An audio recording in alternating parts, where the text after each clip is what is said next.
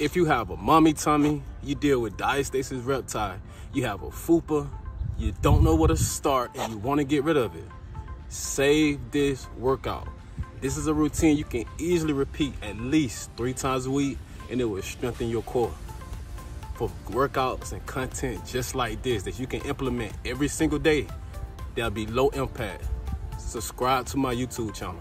You will find everything you need right there. But hey, let's get to the workout. All right, for the first move, we're gonna go down to our back. I want you to keep your head in there off the ground. You're gonna place your hands right on the bottom of your thighs. We're gonna reach for our knees as we bring our head and neck up. We're gonna hold for a second at the top. We're gonna come back down. We're gonna repeat this five times. Hold for a second at the top. Ready? Go. One, two, just like that. Three, shit, feel your core shaking a little bit. Four, last one.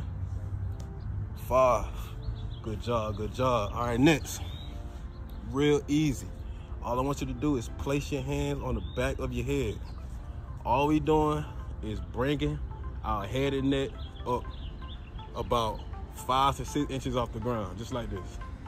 One, I want you to look down at your stomach as you come up. We got five reps. Ready? Go. One, two,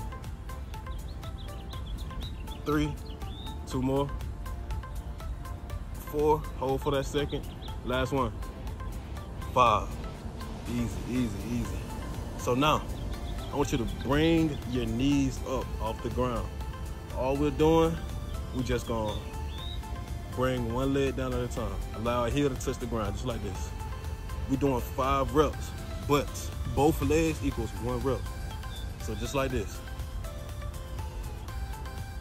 That's one rep. Got four more. Ready? Go. Just like that, real easy. Keep your head in off the ground. Two. Keep going. Three, two more reps. Four, last one. Five, nice, nice. All right, so now, I want you to bring your legs straight up in the air. Straight up. I want you to keep your head in there off the ground. We're gonna reach for our toes. We're gonna hold for a second as we get to the top of the reach. So just like this. One, two, just like that. We got five reps. Ready? Go. One, two, three, four, last one, five. Real easy, real nice. It don't take a lot. It don't take a lot, but it do take consistency. And like I said, the hard part is finding out what to do and how to do it. I just broke it down and for full workouts just like this, it's posted on my YouTube channel. Go subscribe, comment the date you'll be starting these workouts, and comment future videos you'd like to see. But hey, until next time, get it.